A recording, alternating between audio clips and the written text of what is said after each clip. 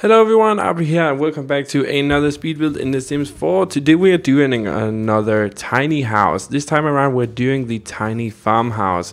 Um, yeah, so this is still a part of the tiny Newcrest or tiny um, Willow Creek series that I'm doing. So I'm still doing the uh, Building Newcrest series where I use all of my own builds uh, modern builds and CC as well to create the town of Newcrest. But I am having so much fun with the um, tiny uh, houses or tiny homes stuff pack that came with The Sims 4 that I thought that we would do another one here. So this is still on the street where we did the first tiny house. So if you haven't watched that video, you can go to my channel right now and check it out.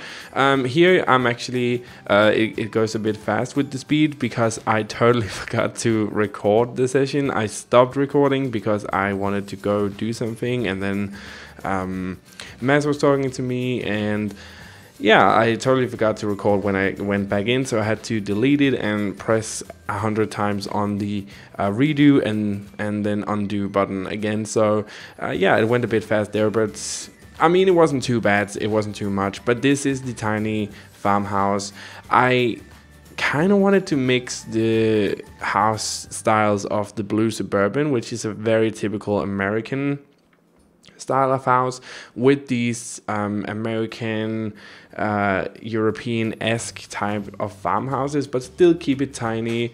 Especially in the inside, we're, we're gonna do a lot of modern stuff, but still blended with you know the the farmhouse stuff that we've come to uh, expect from a house like this. Uh, so we're working on the exterior work here, and I yeah, as I said before, I had I'm having so much fun with this stuff pack. And you guys know me, I don't usually get stuff packs because I just don't think that the amount of stuff that you get for the price you pay is worth it. Especially not now that I use CC as well, um, that you can go out and get stuff that is better quality for free. So I was immediately drawn to this stuff pack when I saw it because I think the concept of tiny homes is so amazing and um, yeah, especially here on the channel, I have tried to do tiny homes before without this stuff pack, and it's just a lot easier now, and you get all of these bonuses on the lot as well when you do a tiny home.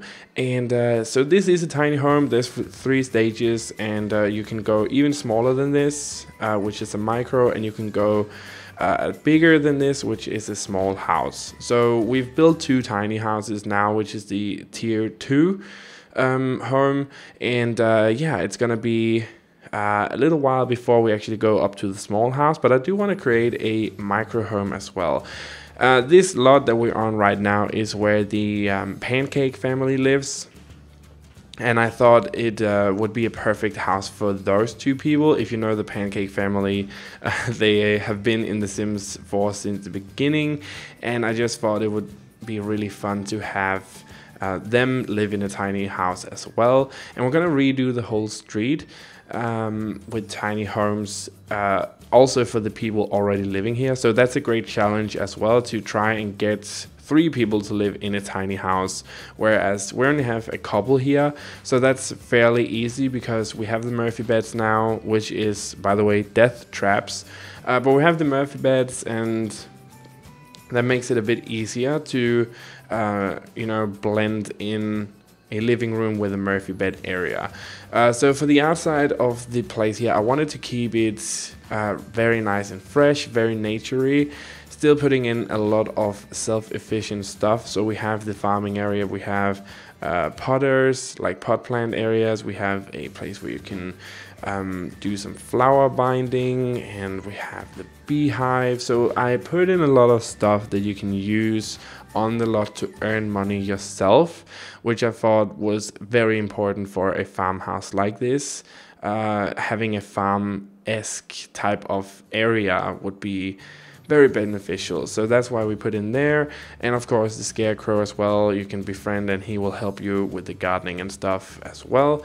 So I tried to put in a lot of stuff that your sim can actually use on the lot to earn money. And I also wanted to keep the place fairly.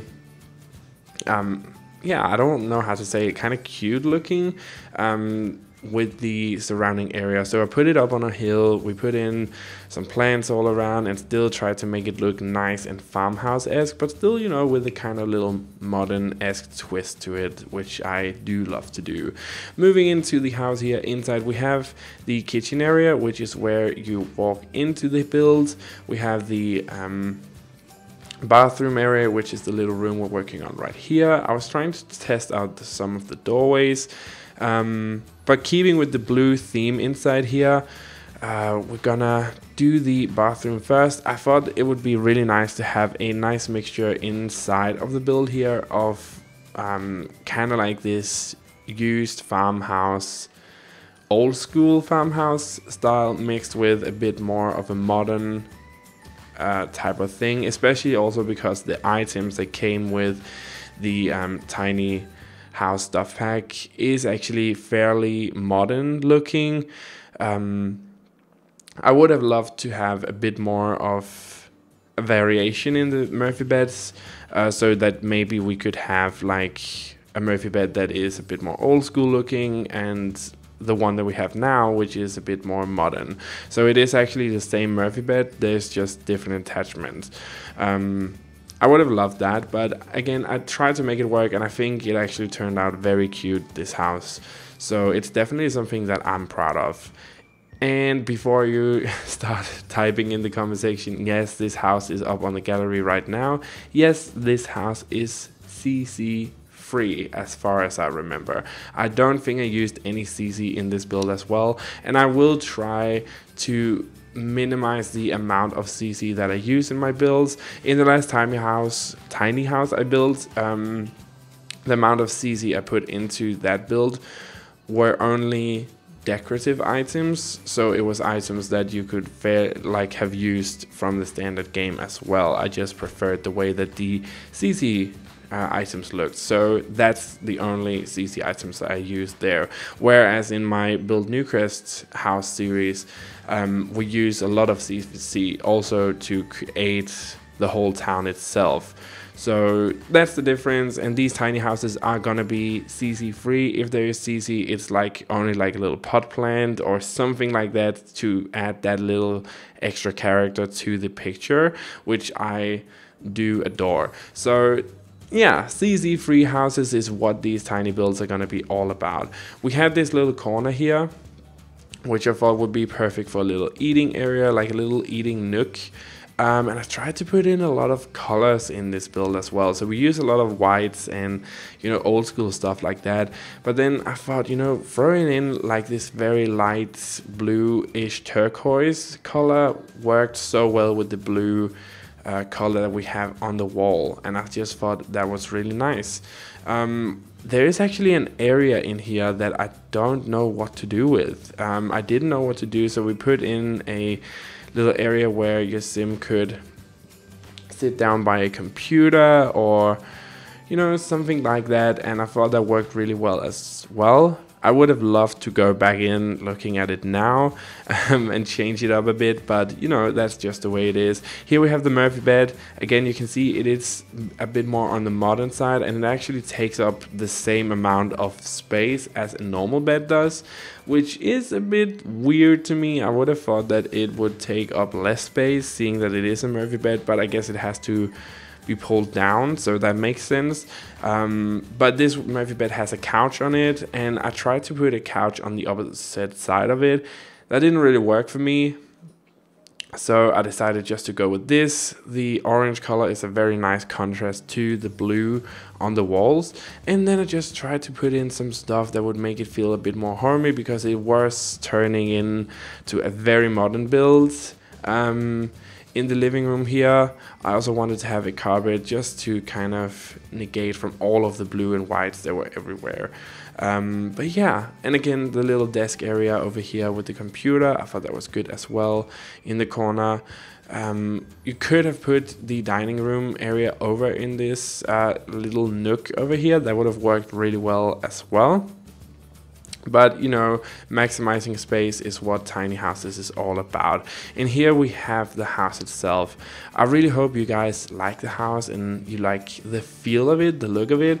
If you do, um, think that the house looks cute uh, because I spent time on it and I really enjoy the way that it turned out. So if you enjoy this build, tell me in the comment section down below. If you have any ideas for builds as well that I can do in the future, follow the links in the description down below to all my social media. There is my Twitter page.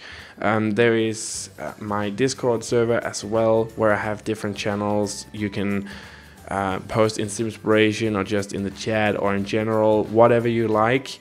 Um, but yeah, those are the two places to get in touch with me. Definitely also in the comment section below as well. And I believe I have linked to my Instagram uh, below as well, which is my personal Instagram. So if you would like to see what I'm up to in my day to day life, uh, that is also a good way for you to watch that.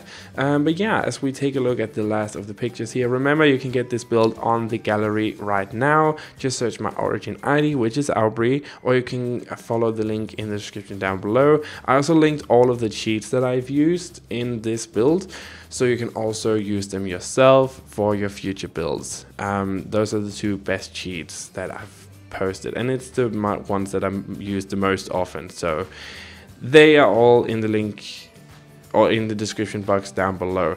But as we take a look at the last of the video tour here, I just want to say thank you so much for watching this video. I really hope you enjoyed it and uh, leave it a big like, a subscribe and have a truly fantastic day wherever you are in the world.